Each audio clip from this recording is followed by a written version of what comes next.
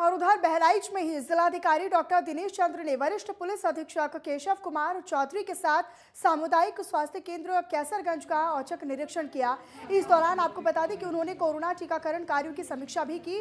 प्रथम डोज में राष्ट्रीय औसत से पिचानवे प्रतिशत अधिक और राज्य औसत से बहत्तर दशमलव दो प्रतिशत डोज अधिक की उपलब्धि पाए जाने पर जिलाधिकारी ने अपनी खुशी भी ज़ाहिर की। इस दौरान उन्होंने स्वास्थ्य अधिकारियों और सभी कर्मचारियों से अपील की। आह्वान किया कि टीकाकरण में ज़्यादा से ज़्यादा लोग हिस्सा लें। वहीं उन्होंने तीसरी लहर को लेकर सोशल डिस्टेंसिंग और हाथों की स्वच्छता पर विशेष तौर पर ध्यान देने के लिए लोगों को जागरूक भी किया।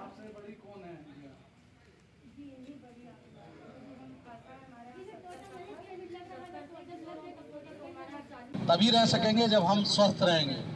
और स्वस्थ रहने के लिए टीकाकरण अनिवार्य है। साथ ही जो 18 वर्ष से अधिक आयु के लोग हैं वह भी दोनों डोज ले लें। दोनों डोज लेने पर आपको कोविड के संक्रमण का प्रभाव कम पड़ेगा। और यदि कुछ स्थिति बनती भी है तो आप ठीक हो जाओगे।